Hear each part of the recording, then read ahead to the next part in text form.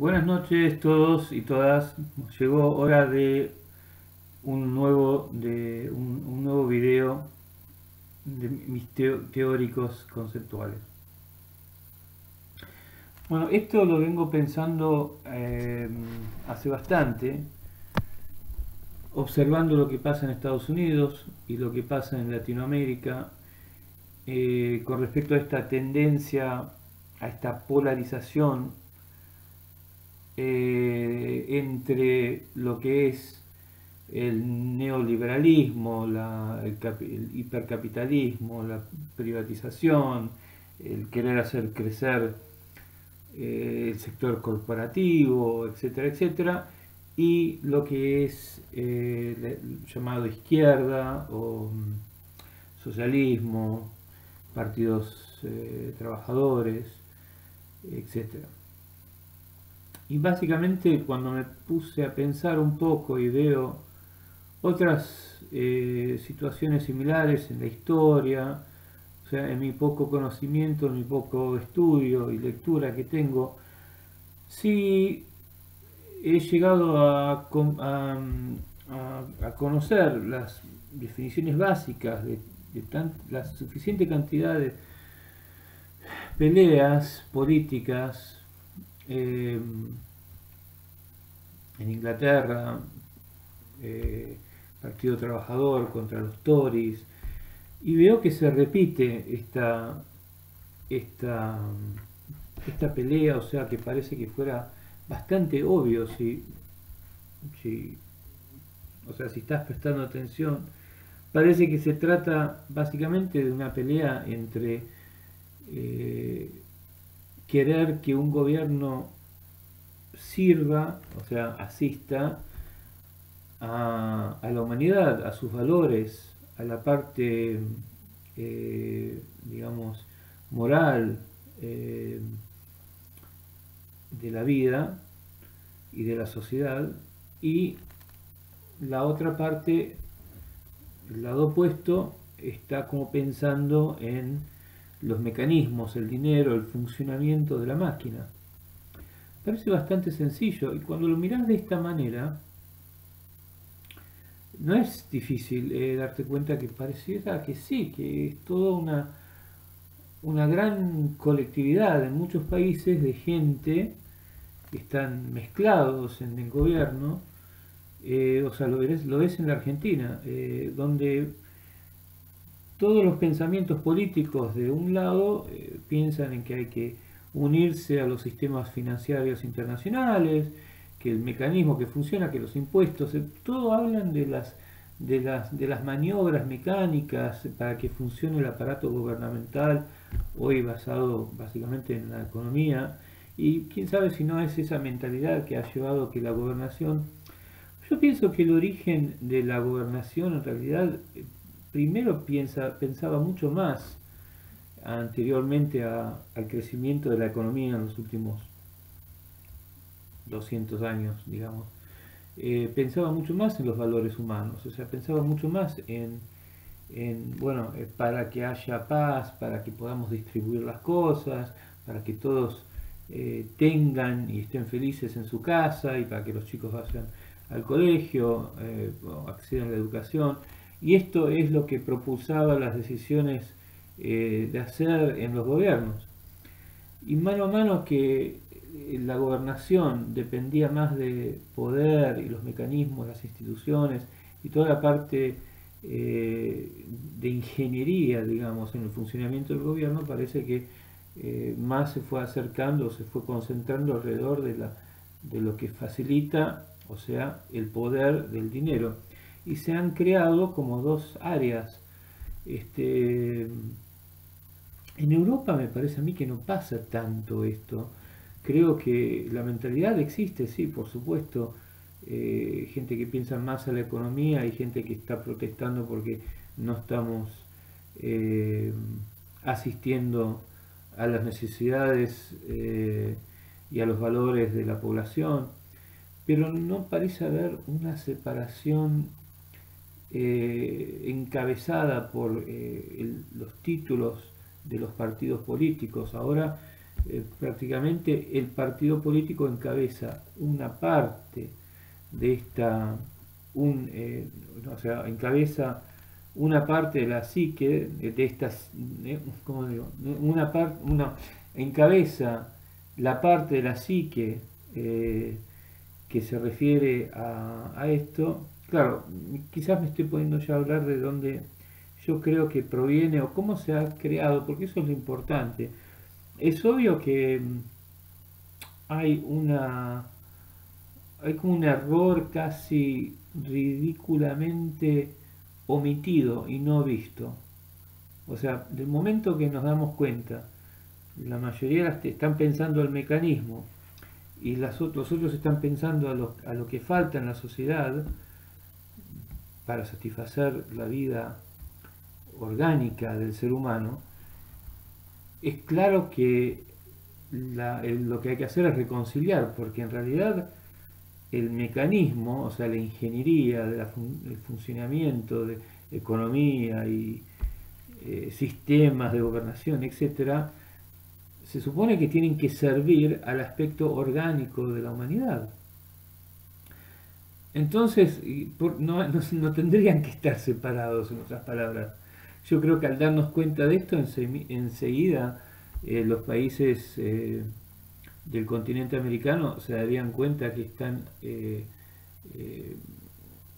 están como, como, ¿cómo se dice? Están como corriendo atrás de su propia cola, o sea, no sé, como los perros que se tratan de masticar la cola, o no sé cómo mejor decirlo, que están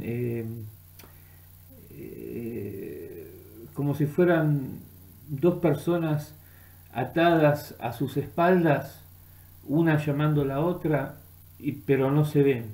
O sea, ¿dónde está, el, ¿dónde está el otro? El que está atado detrás tuyo, mirando para el otro lado, está llamando eh, a vos, te está llamando a vos y, y los dos no se pueden ver porque están atados espalda a espalda y se están llamando y se están enloqueciendo porque no se dan cuenta que ya estaban juntos, que están juntos y que no, no, debía, no debía existir esta separación. O sea, esto es lo que yo veo bastante, es bastante claro, lo, lo estamos viendo en Colombia.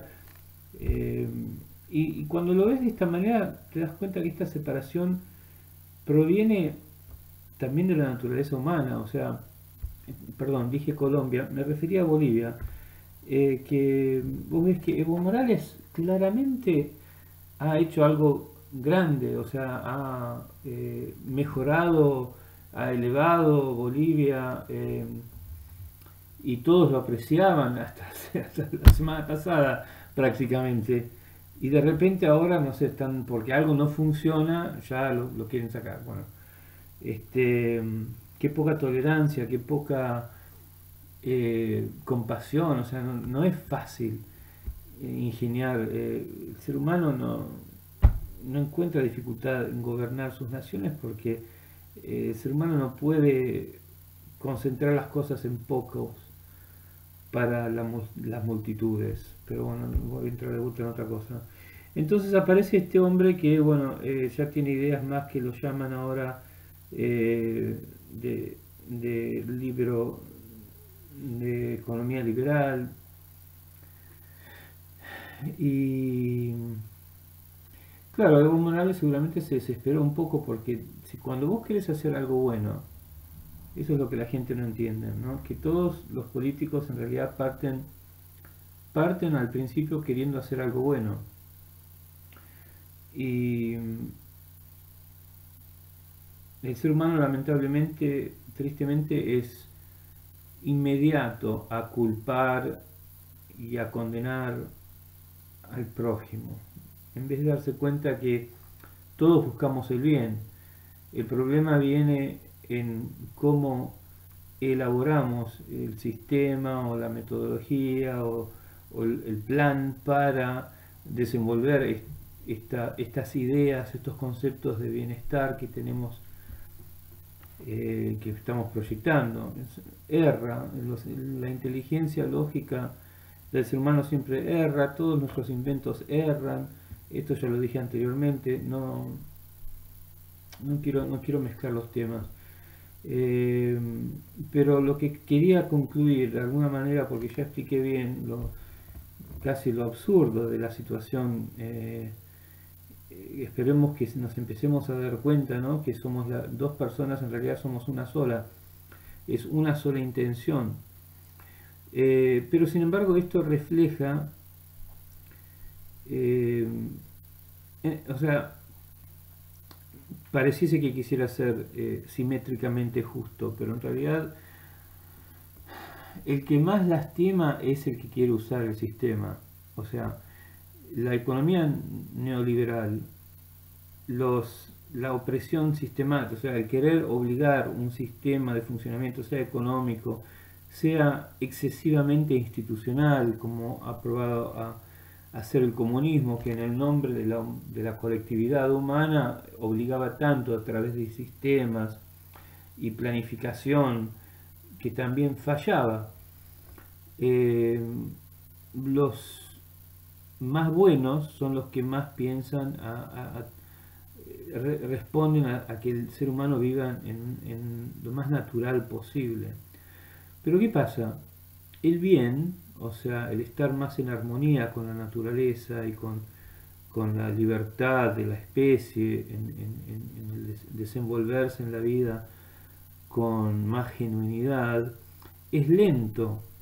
El bien es más lento, es más grande, es el principio eh, y es el final también, inclusive a pesar de que sea la muerte, es lo, lo más cierto a la creación. Pero es lento, es como la luz, o sea, bueno, la luz no es lenta. Quiero decir, es fuerte y grande como la luz, pero en realidad en cuanto a desenvolverse en el intelecto humano es lento, porque claro, a nosotros nos cuesta mucho ser ciertos al diseño natural. Entonces, para que un gobierno satisfaga más perfectamente la organización de la sociedad, o sea, el gobierno, eh, tiene que ser lo más parecido posible a la naturaleza. Y ahí es donde realmente está desafiado, eh, desafiada la inteligencia científica humana. Se cree que es muy inteligente, pero sus inventos siempre fallan. Eh, o sea, no fallan inmediatamente. La tendencia es, es un poco... no estoy yendo del tema de vuelta. Ahora, lo que quiero explicar es que porque ser más ciertos a la forma humana a través de un sistema gobernativo es lento, eh, en, que, en que sucedan las cosas, en que se solucionen los problemas, en que, por ejemplo, típicamente, últimamente, antes no era así, antes la izquierda no producía, la izquierda o el socialismo, como lo quieran llamar, no producía, por ejemplo, criminalidad, pero la criminalidad ha surgido porque justamente porque es demasiado buena y permisiva el, socialismo, ah, que no alcanzó a anticipar lo que le iba a pasar a una sociedad que reaccionaba enseguida a, a una desigualdad que venía aguantando hace tiempo, o sea, o a la maldad de cierta gente que quiere que todavía existe y que ven un campo abierto de repente. Entonces es lento en, atajar los problemas que van a suceder. Y los que están, o sea, los que están concentrados o focalizados sobre el funcionamiento del sistema económico y que, como, y que hay que hacer que funcione y todo se trata de, de hacer crecer las industrias y, o sea, este tipo de pensamiento neoliberal, a pesar de que estoy hablando aspectos que se encuentran en ambos lados, por supuesto. Estoy generalizando quizás la filosofía eh, esencial de alguna manera política. Eh, son rápidos, claro, porque su naturaleza es una que eh, enseguida responde a la acción de o sea, cuando vos, por ejemplo, si vos querés construir algo que sea el producto de la ciencia, o sea, desde con plástico, hierro, y que ya tenés todo un mundo que funciona de esa manera,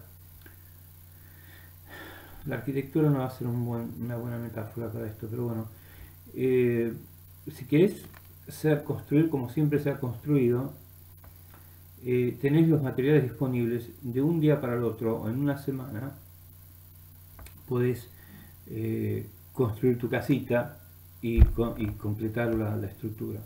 Pero si querés tomar un, un camino orgánico, o sea, que hacer un piso que sea permeable, eh, no usar tejas, pero usar hojas naturales, qué sé yo, etcétera, etcétera. O sea, crear, inventar eh, la arquitectura de una, de una estructura lo más orgánica posible, es, va a significar elaboración, vas a tener que hacer cerámica, o sea, sí, cerámica, eh, vas a tener que mm, cortar madera a medida, eh, o sea, un montón de cosas que van a necesitar atención al detalle, porque para el ser humano, ser cierto a la naturaleza o la creación, o armonioso con lo natural, es trabajo, es, es, el, mayor trabajo que se pueda proponer. Eh, en la agricultura lo, parece ser que se armoniza bastante rápidamente, una vez que aprendes, por ejemplo, ciertas cosas, como crear fertilizante natural, como luchar contra los bichos naturalmente. Este, pero en otros casos realmente nos damos cuenta que, que ni bien tratamos de ser ciertos y puros con respecto a una filosofía natural, eh, hay que lleva más tiempo prepararse y para cada uno de esos elementos resulta que tenés que siempre fabricarlo, siempre elaborarlo y no lo puedes hacer en, masa, no puedes hacer muchos y, guardarlos. Eh, y eso armoniza en realidad con la velocidad de la vida, pero bueno, eso es una cuestión filosófica. Entonces en la política parece haberse dividido, parece haberse creado estos dos campos eh, y a pesar de que habitan en ambos lados, porque el ser humano lleva consigo la totalidad de su, de su, psique, o sea, de su mente, en realidad es lo que estaríamos viendo que en, algo que es más de izquierda, socialista, humanista, naturalmente eh, es más sensible hacia, por ejemplo, el derecho animal, a la libertad de los animales, a, la, humanidad hacia, hacia, el trato humano eh, de ellos y al respeto de sus vidas y, al amor por la, por la ecología y por no abusar de los bosques y por mantener los ríos limpios. Mientras que vemos que eh, en el sector, qué sé yo, por ejemplo, me imagino una convención de republicanos estadounidenses, que son todos ahí representantes de Wall Street y qué sé yo, y están pareciese que están bien alejados de todo lo que sea biológico, orgánico, amor por los animales, a pesar de que entre ellos hay gente que tiene pichichos en la casa, o por ahí les gusta ir a comer vegano todas las noches. Eh, pero hay, hay algo interesante. Yo lo que, lo que estoy tratando de decir es que creo que quizás tenemos un, un, un campo abierto que nos ofrece reconciliar todo hacia un solo hacia una sola meta. Y creo que esa meta está representada porque por la política teniendo como, como faro, o sea, como torcha eh, inspiradora, eh, el bienestar del vivir de la especie, de la colectividad humana no del individuo o no del dinero, no de diversas eh, filosofías de funcionamiento gubernamental que puedan haber habido, que puedan, que puedan haber. ya, está, ya terminé, chao.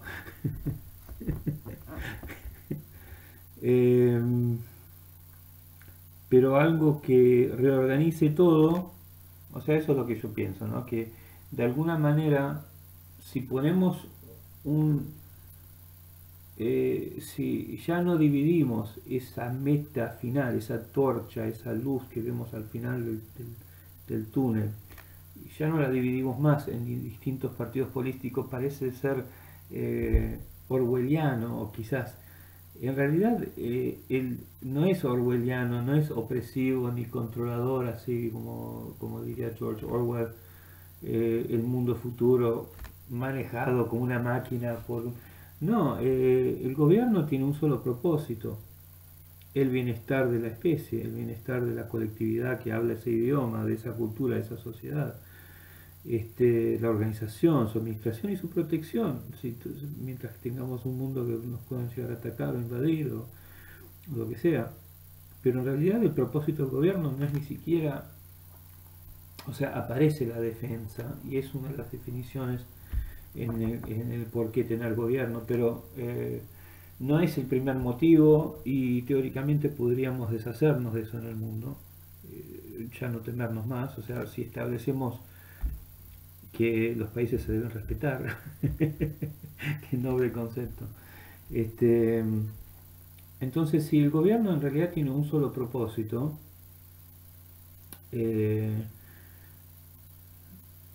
que eso sea el bienestar de la familia humana, que sería la colectividad de familias, la sociedad, en realidad lo primero que eh, empieza para comprender la especie o para comprender el porqué de un gobierno es la colectividad, no el individuo. Y ahí eh, creo que podríamos hablar un poco de lo que pasó en Estados, lo que trajo Estados Unidos al mundo con esta este, exageración del derecho individual y creo que eso ha hecho que se empiece a patinar todo para todos lados. Eh, el, el individuo es importante eh, pero no está solo. El individuo es lo que es gracias a la colectividad. Entonces, eh, no es que ah, la, colectividad deba funcionar, eh, deba existir en función del individuo. O sea que se han confundido un poco las ideas y hay aspectos de simultaneidad intelectual. La simultaneidad intelectual quiere decir que comprendes una relación, no una explicación lineal sino que podés describir una relación tridimensional. Y en eso es eh, que eh, el individuo es lo que resulta de la sociedad, pero más, por lo tanto lo más importante es la colectividad, la sociedad, para que cada individuo sea lo mejor que puede ser. Eh, toda esa parte está re mal ordenada y nos hemos mezclado los cables, han hecho un quilombo y ha resultado en un montón de cosas que no quiero hablar pero en este momento, pero a lo que voy es que si por lo tanto el gobierno puede tener una sola meta y aceptemos que eh, los, gobiernos socialistas de, izquierda, eh, marxistas, eh, nos olvidemos un poco, podamos concordar de que no hay malas palabras en esto, sino que son todas ideas de política que han, hemos tenido los seres humanos para gobernarnos a todos. No es, nadie está tratando de agredir a nadie. Eh, Marx y el compañero que no el otro que también en el mismo tiempo más o menos estaban surgiendo con estas ideas, no fueron gentes que, a ver, vamos, ¿qué, qué partido político podemos destruir? Eso es lo que han hecho después y han creado esta batalla de oposiciones que no existe porque en realidad la intención de todo político y de todo gobierno es de servir a la sociedad, a la pluralidad sin distinción. Nadie dice, este es un gobierno que va a, que lo estamos creando para servir o para realizar este segmento de la sociedad. Nadie en la historia ha hecho eso. Nadie dijo, este gobierno, nosotros somos políticos que vamos a a organizarnos, nosotros solos, ¿eh? ustedes no, solo, solo nosotros. Eso es en lo que hemos resultado, no es, nunca ha sido la verdad del por qué se crea gobierno. Entonces, si el gobierno existe para el propósito, ¿qué, quiere decir? Que en este campo, con una, con finalmente una meta singular, como propósito, como destino, podríamos empezar a migrar los dos, tres, cuatro, qué sé yo, tendencias políticas que existen y empezar a decir, esperen, esperen, para lograr esto nosotros tenemos estos sistemas. Ah, bueno, y el otro dice, te olvidas de este aspecto de qué cosa, de la humanidad, siempre del, con la misma con el mismo, la misma meta al, final de este campo de propósito común. Eh, se necesita eso para que se pueda comenzar a armar algo eh, tomando de todas las partes lo mejor y lo más óptimo posible. Porque seguramente cuando todos, o sea, cuando todos tenemos la misma meta, o sea, decimos, bueno, vamos a, el propósito es armar, es construir 100 casas del otro lado del río. Entonces, quizás hay, hay entre nosotros una compañía que ya tiene una flota de barcos y bueno, y puede empezar a llevar materiales. Eh, pero si de repente hay otra persona que resulta saber, porque él o ella viajó por el otro lado, donde pasa que nadie va a esa parte del río y sabe que una vez a la semana la, la, la marea del río baja tanto que se permite caminar sobre el río con el agua hasta los tobillos, el hecho que tengan en común todos la misma meta permite que esa chica o ese hombre diga, esperen, esperen, no hace falta usar todos esos barcos que ustedes ya tienen, bárbaro. Felicitaciones el trabajo que han hecho, pero tenemos esta situación a, pocos metros, o sea, a pocos kilómetros donde podemos pasar todos los materiales caminando sobre el río. Entonces, eh, eh, se necesita tener una meta en común para que todos todos podamos aportar y eh, mezclar lo mejor que tenemos y lo más práctico, lo más eficiente, lo más conduciente hacia esa meta, hacia esa meta. Y en, pareciese, muchos dirán, el mundo ya es así. Bueno, sí, yo le diría a esa persona, pónganse a escuchar lo que dice la gente, a ver si les parece que es así. Eh, cuando lo que no hacemos hoy es eh, concordar que lo más importante es el vivir de la colectividad. ¿Por qué? No digo primero el vivir de cada individuo. Porque como familia, como colectividad, ya me interesa más que nada que, por ejemplo, los padres de todos, de, todos los padres de nuestra colectividad, o sea, si yo le pregunto a la colectividad, como si la colectividad tuviera una boca, ¿qué es lo que más te importa? Y que todos los padres estén bien, puedan criar bien a sus hijos, contesta la colectividad. O si le pregunto a una familia, ¿qué es lo más importante? ¿Qué es lo que necesitas? La familia va a decir, como si no tiene chicos, qué sé yo, lo que sea. Si tiene chicos, va a decir, y que todos mis hijos puedan educarse bien y se desarrollen sanamente, con buenos amigos, buenos valores, con buenas relaciones entre la familia, etc. Entonces, es a la colectividad, es a la familia que el gobierno debe preguntar para saber mm, mejor. O sea, estoy pensando en un sistema de distribución, que un diagrama de distribución. En la naturaleza, eh, una vez hice un programa, un, ejercicio, me parece que en escuela de arquitectura, donde había que dibujar qué era, cuál era lo, el que pensábamos, lo que pensábamos era el mejor diagrama de distribución para distribuir las cosas, sea el agua, lo que fuese. Y este, bueno, entonces había, los chicos hacíamos distintos eh, ejercicios antes de que el maestro o la maestra nos enseñase eh, un material que ya tenía preparado para enseñarnos ese día. Cada uno hizo distintos diagramas. Unos parecían, eh, por ejemplo, partía de un punto, o sea, el ejercicio era que se partía de un punto y después había que hacer llegar a 10 del otro lado de la hoja. Entonces uno hacía, por ejemplo, salían dos líneas y esas dos líneas se hacían en dos y esas dos líneas se hacían en dos y esas dos líneas se hacían en dos hasta que se cubrían las, las 10 o 12 puntos del otro lado. Otra persona hacía de ese punto, hacía partir una línea a cada punto. Este, bueno, la mejor solución para, cortar eh, el cuento eh, era una sola línea que partía y a una cierta distancia se dividía en 10.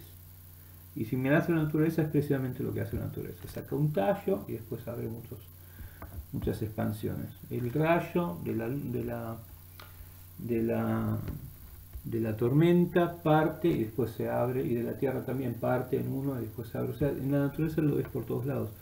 Para hacer llegar la distribución parte de una sola línea y después distribuye cuando está a la distancia apropiada, la distancia justa, se abre, bueno, el, empezar por la colectividad es un poco eso, porque si el gobierno le pregunta a cada individuo lo que dice, uno le va a decir, bueno, espera, no sé si quiero tener hijos todavía, no estoy casado, en mi caso yo necesito plata para ir al colegio.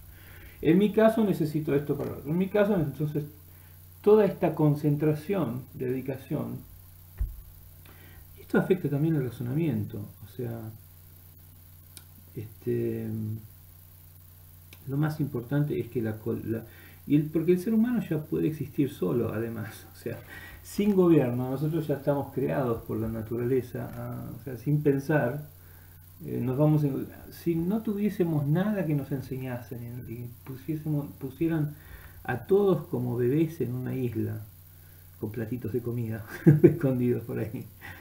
Este, nosotros nos vamos a organizar según el diseño de la naturaleza y los chicos y las chicas se van a encontrar y mm, quizás los chicos prueben con otro chico y después de alguna manera la naturaleza va a lograr su diseño. El problema es que nosotros eh, estamos un poco demasiado eh, obsesionados con dominarnos, juzgarnos, condenarnos, hacer que haga al otro, hacer lo que haga. Este, y ordenar y obligar estos ordenamientos y castigar al que no obedece. Entonces, y esto es el resultado de la arrogancia, o sea, lo, vemos por ejemplo cuando, yo lo veo, lo veo cuando por ejemplo eh, manejo mi, computadora, que, o sea, que, o, por ejemplo en mi cocina hago esto que me hace reír, que yo meto la mesa de cierta manera, ¿no? Y después tengo donde el, el, el aparato para colgar la ropa que lo doblo y lo pongo del otro lado. Encontré un sistema perfecto. Pero de repente terminé de lavar la ropa es como que me cuesta desordenar para sacar el, tendedero y, que la mesa quede torcida un tiempo mientras se seca la ropa hasta que pueda, pueda volver a guardar el tendedero porque por algún motivo eh, la inteligencia del hombre es arrogante y cuando inventa algo eh, le cuesta modificar lo que inventó entonces hay todo, una, algo muy interesante. Creo que seguramente es muy importante que estudiemos más las ciencias humanas para hacer mejor las cosas y tratarnos mejor y darnos cuenta por qué, por qué ocurren. Primero todo reconocer que lo primero que hacemos es ser menos de lo que nos imaginamos. Deberíamos ser, podemos ser o somos capaces de hacer. Eh, y para comprender dónde ocurre ese punto y conocernos mejor, conocer nuestras limitaciones mejor, quizás debamos mejorar más las ciencias humanas y ser más sinceros con nosotros mismos en las ciencias humanas. Bueno, eh, nada, que esto es una reflexión, ¿no? es nada, nada increíble, como a veces grabo que, descubrí, descubrí no sé qué cosa, no, es una observación observando lo que estoy viendo todos los días en, en la internet. Bueno, que tengan un lindo día o una linda noche. Todos. Todes. todas. Todas, todes y todos. Todes, todas y todos. A mí, a mí me gusta todos. No sé por qué me gusta todos. Inclusive me gusta todis más. Pero bueno, aquí todes. Mucha pelota. chao.